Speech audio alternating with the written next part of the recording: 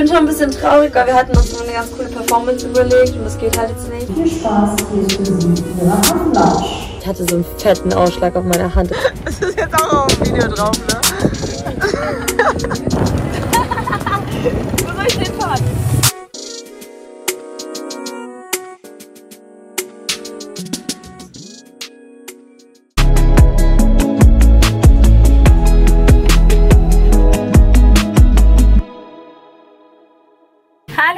und willkommen zu einem neuen Video von mir.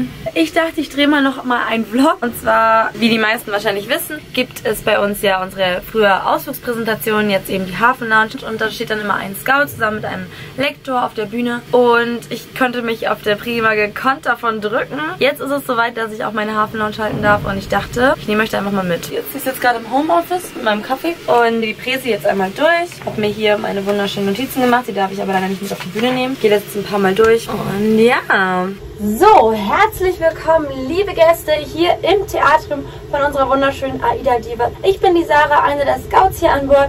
Und ich habe Ihnen heute unsere Lektorin, die Ingrid, mitgebracht. Wir werden heute Abend einmal hier schön um die Insel herumfahren, in die Bucht von Samana. Ich habe mich jetzt spontan dazu entschieden, nochmal einen Vlog zu starten. Wegen meiner ersten Hafen-Lounge und eben auch wegen Fumits Band. Jetzt eben nach Mexiko waren äh, zwei Seetage. Ich filme jetzt nur mit Handy und meine Kamera leer ist. Ich habe hier gerade ein bisschen aufgeräumt, habe mein Müll weggebracht und jetzt muss ich mein Bettzeug noch wegbringen, weil wir heute Linen Change haben. Also wir müssen einmal in der Woche unser Bettzeug wechseln und das wird nachgeprüft. Das mache ich jetzt. Ich wollte übrigens mal zeigen, wie unsere schöne Spiegelwand hier aussieht. Ich habe es hier so nach Vertrag sortiert. Das erste ist Blue, dann ist Ma, dann ist Soy. Und das da unten ist dann prima. Und hier haben wir unsere Notizwand. Und hier hängen dann noch so Notes und unser schönes Elevator Boy Poster, ne?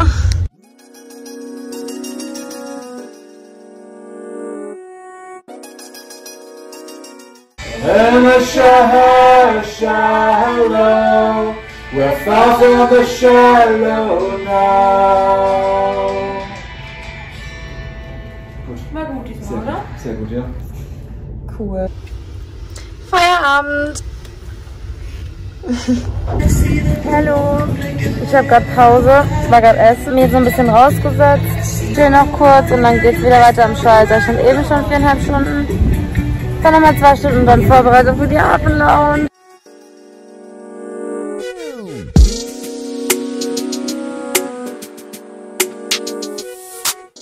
Also ich melde mich gerade nochmal aus dem Homeoffice. Gehe mal meine Präse durch. Ich bin echt am Abkacken, muss ich ganz ehrlich sagen. Also noch geht, aber ich habe einfach so Angst vor dem Moment, wo ich vor der Bühne stehe und weiß, ich muss da jetzt gleich raus. Und ich klaue schon die ganze Zeit die Schokobons von der Lina. Das muss es irgendwie wieder gut machen, aber ich drehe durch.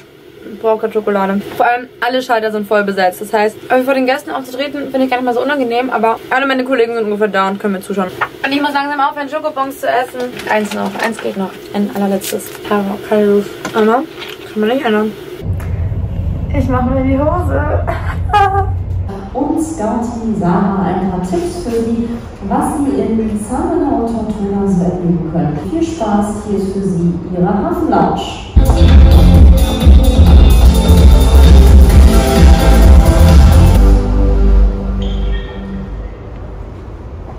Ja, hallo und herzlich willkommen, liebe Gäste, hier im Theater mit unserer schönen Aida Diva. Ja, ich bin Sarah, eine von unseren Scouts hier an Bord und ich habe heute die Ingrid mitgebracht, unsere Lektorin. Einen schönen guten Abend. Dann kommen wir schon mal zu den Zahlen, Daten und Fakten für Samana. Wir werden morgen um 9 Uhr ankommen, bis 17 Uhr liegen wir dann dort auf dem Rede. Das heißt, wir liegen nicht am Hafen, sondern wir tendern eben mit unseren Booten einmal rüber auf die Dominikanische Republik. Das heißt auch, dass wir uns nicht auf der Pier treffen oder am Busparkplatz, sondern eben verschiedene Treffpunkte hier auf unserem Schiff haben. Deswegen ist es ganz wichtig, dass wir nochmal am Bordportal gucken, den Strand und Meer. Da haben wir Ihnen einmal die Insel Cayo de Manteado mitgebracht. Sagt dem einen oder anderen wahrscheinlich nichts. Vielleicht eher unter dem Begriff Bacardi-Insel. Ja, weil sieht sie. Mal noch zu den bisschen aktiveren Touren, wenn Sie ein bisschen mehr Action wollen, haben wir zum Beispiel einmal unsere Canyon-Tour. Das ist eben mit dem Zipline. Dann wünsche ich noch einen schönen Abend. Danke. Ja, danke dir, Tim, auf jeden Fall und danke auch für die schöne Überleitung. Ich mache gleich weiter mit Tortona. Hier kommen wir um 13 Uhr an, bleiben dann bis 19 Uhr im Hafen. Das heißt, Sie können auch schön morgens ein bisschen am Pooldeck bleiben Und ich empfehle Ihnen auf jeden Fall, eben das Einlaufen anzuschauen. Das ist super schön. Wir passieren viele kleine Inseln. Ich zeige Ihnen das mal. Genau, wir fahren einmal nördlich von Los Van Dijk, einmal nördlich von Tortula, passieren eben diese kleineren Inseln und kommen dann in Road Town. Das war es dann auch schon tatsächlich mit den Ausflügen, die ich Ihnen heute vorstelle. Ich habe noch ein kleines Goodie mitgebracht und zwar haben wir eben unsere Wellness-Oase und alle, die bei uns einen Ausflug gebucht haben, bekommen 50% Ermäßigung eben auf diese Wellness-Oase an Hafentagen. Das heißt, wir gehen einmal hoch auf Deck 12 zu unseren Spa-Mädels und Jungs, sagen aber Bescheid, dass sie eben Ausflug gebucht haben und bekommen dann diese Ermäßigung. Buchen können Sie im Bordportal oder Sie können natürlich auch gerne zur persönlichen Beratung zu uns an die Schalter kommen. Wir haben unsere Schalter auf Deck 5, Deck 9, Deck 10 und Deck 11 oben und sind dann natürlich gerne für Sie da. Ansonsten können Sie auch anrufen, eben einmal die 5000 und unter der Durchwahl 2 kommen Sie dann bei uns raus. Ich wünsche Ihnen noch ganz schöne Tage hier an Bord. Wie gesagt, man sieht sich bestimmt mal. Und vielen Dank an Ingrid für die tatkräftige Unterstützung und das Insider. Sehr, sehr gern. Dankeschön. Dann schönen Abend. Auf Wiedersehen. Jo, ich hab's überlebt. Ich habe zwar bei manchen Sachen richtig dumme Sachen gesagt, aber ich hab's überlebt und mein Feedback war okay. Also die haben gesagt, ja, dafür, dass du es das erste Mal gemacht hast, war es okay. Oder war es gut sogar. Dafür, dass du es erstmal gemacht hast, ist nie gut. Das hat nie einen guten Kontext. Ja, aber ich hab's ja hab's auch das leider erste nicht Mal gemacht. gesehen. Ich hätte es gerne gesehen. Es ist, ich hab's gerne aufgenommen alles. Ja, das gucke ich. Also, so interessant finde ich es dann auch nicht. Nee, aber es ist eigentlich verhältnismäßig gut gelaufen. Und ich gehe jetzt zum Sport. Ah! Au! übrigens hat Lina mein Name-Tag misshandelt. Mein neues Name-Tag. Das ist unser neuer Bildtag. Guten Morgen. Für mich geht's heute auf Regenwaldwanderung.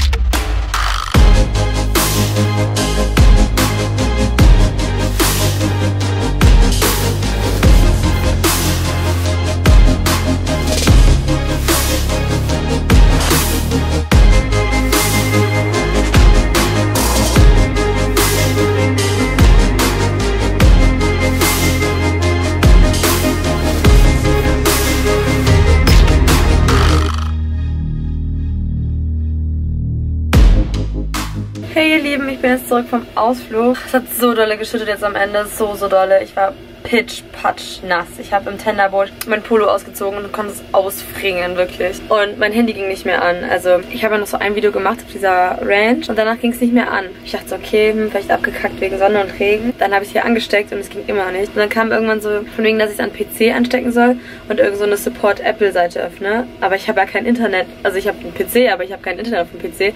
Und ich darf ihn nicht irgendwie an einen PC im Office oder so anstecken. Und ich war schon so kurz vom Heulen, aber auf einmal ist es jetzt doch angegangen. Ich hatte echt, echt so Panik. Und ich dachte so, was mache ich denn jetzt, wenn mein Handy einfach nicht mehr geht und ich mich nicht mehr zu Hause melden kann. Und aber es hat sich zum Glück wieder geöffnet. Da bin ich jetzt sehr, sehr froh drum. Und ich gehe jetzt essen.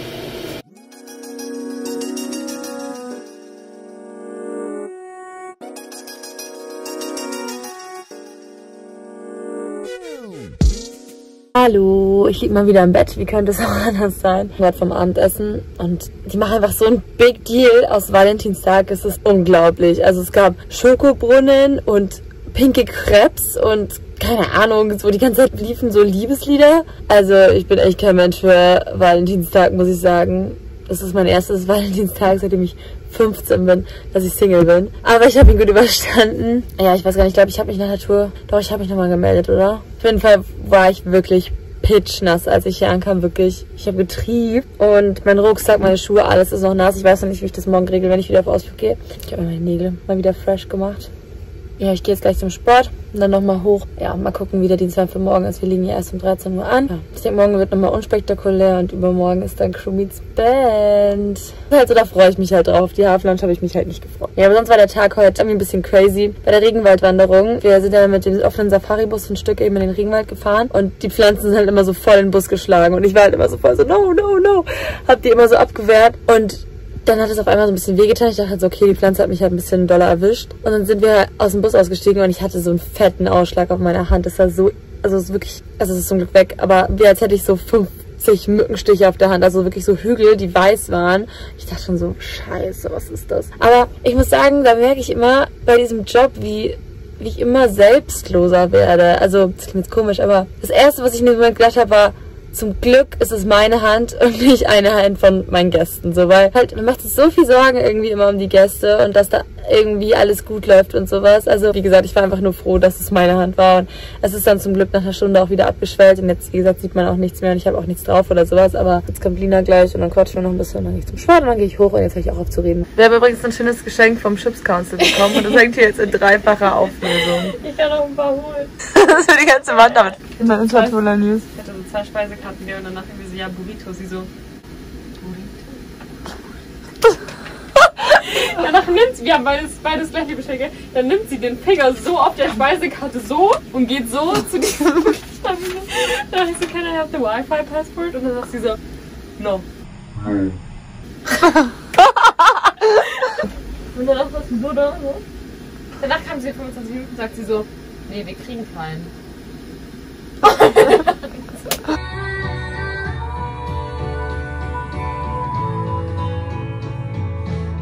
off the deep end, watch us up diving. I'll never meet the ground. Zwei können Sie uns an die Seite. Ja. Genau. Das Und dann, wenn wir nochmal schneller, können wir uns auch nochmal Dann nehmen wir uns noch angucken. mal zu. Tell Das ist anders. me something, boy. Ich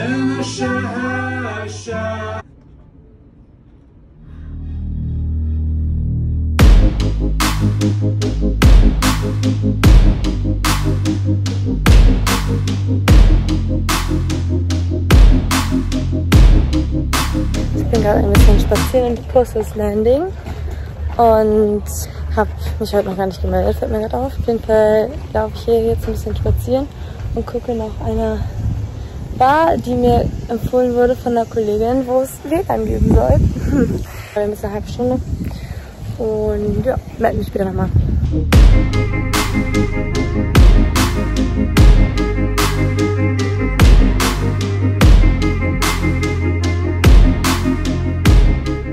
Ich bin gerade noch im Terminal.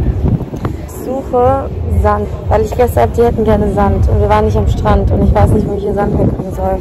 Und es tut mir voll leid und ich habe jetzt zwei Kollegen geschrieben, die heute einen Strandausflug haben, ob sie mir irgendwie Sand mitbringen können. Aber die haben es nicht gelesen, weil die haben halt alle kein Internet. Ah, Es tut mir voll leid. Ich hätte das voll gerne irgendwie organisiert, aber keine Chance. Hallöchen! Auf jeden Fall wollte ich mich nochmal melden. Ich habe gerade meine Wäsche in die Waschmaschine geschmissen und ich gehe jetzt zum Sport. Und mein Ausflug heute war anstrengend, weil...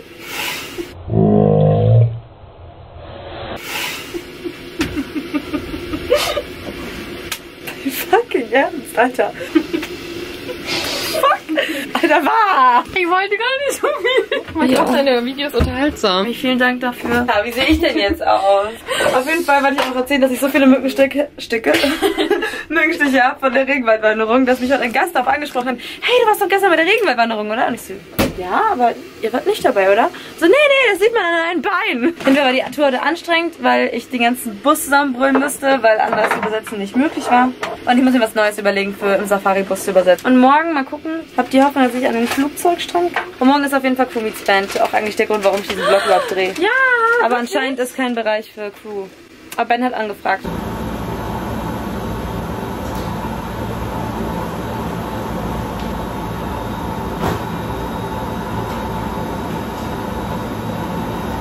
Hallo. Ich habe mich jetzt fertig gemacht. Also ich hole gleich meine Wäsche noch aus dem Trockner und treffe mich dann äh, mit Andreas, weil ja morgen Queen's Band ist. Und es ist leider doch nicht im Theater. Da gab es irgendwie einen Change of Plans und das ist jetzt auf dem Pooldeck. Ich bin schon ein bisschen traurig, weil wir hatten uns immer eine ganz coole Performance überlegt und das geht halt jetzt nicht. Aber wir machen das Beste draus, wir machen was anderes Cooles. Ich hoffe nur, dass es nicht so windig ist, weil sonst ist es mit dem Sound richtig schwer, wenn man sich selber nicht hört. Aber wir machen das Beste draus. Und ich freue mich trotzdem voll.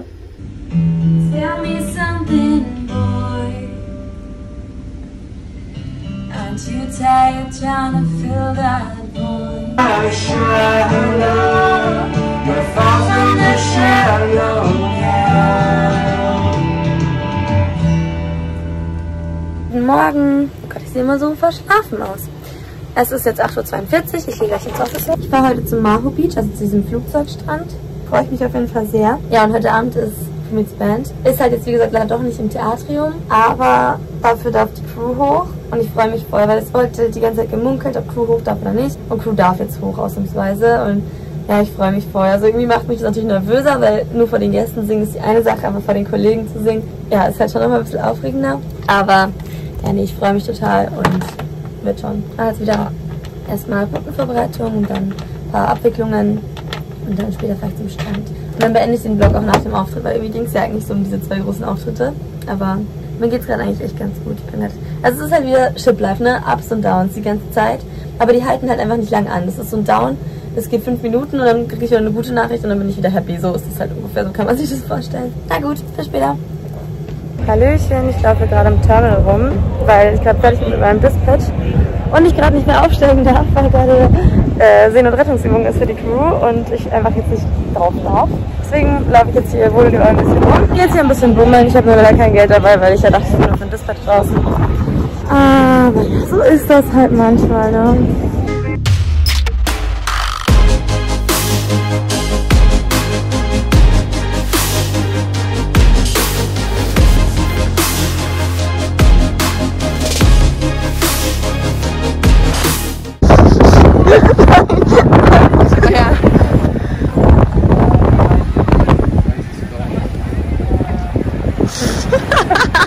Das ist jetzt auch auf dem Video drauf, ne?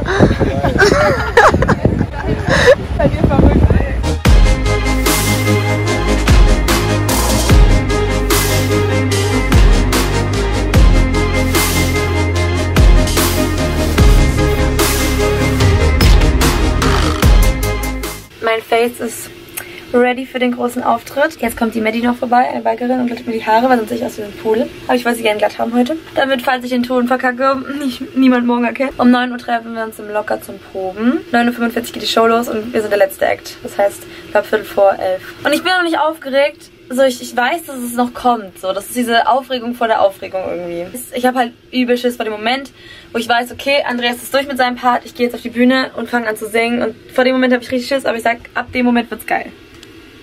Das durchgetestet hat, dass es Julia geht. Warte kurz. Läuft.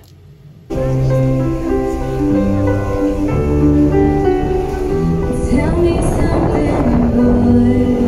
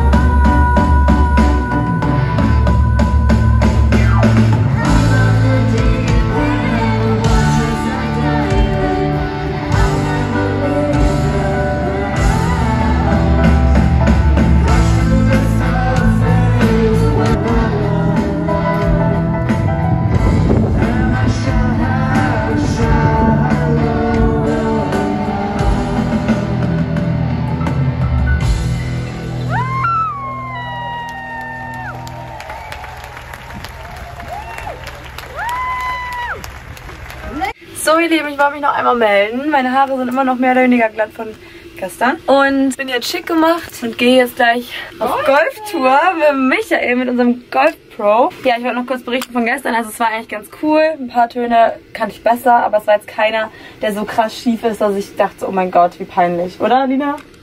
War, war ein Ton, wo, wo sich alle dachten so, oh. Nein. Gut, ja, das ist die Hauptsache. Ja, also war eigentlich ganz cool. Ich wollte den Vlog jetzt eigentlich auch hier beenden, weil so diese Main Reasons vorbei sind. und wollte euch aber gleich noch ein paar Szenen vom Golfen einblenden. Aber jetzt bin ich jetzt mit on. Und sage, wenn euch das Video gefallen hat, dann gebt mir gerne einen Daumen nach oben. Und abonniert gerne den Kanal, um nichts mehr zu verpassen. Mein auch. Dann seht ihr die Dina auch noch ein paar Mal. Und ciao, ciao. Ciao, Kakao.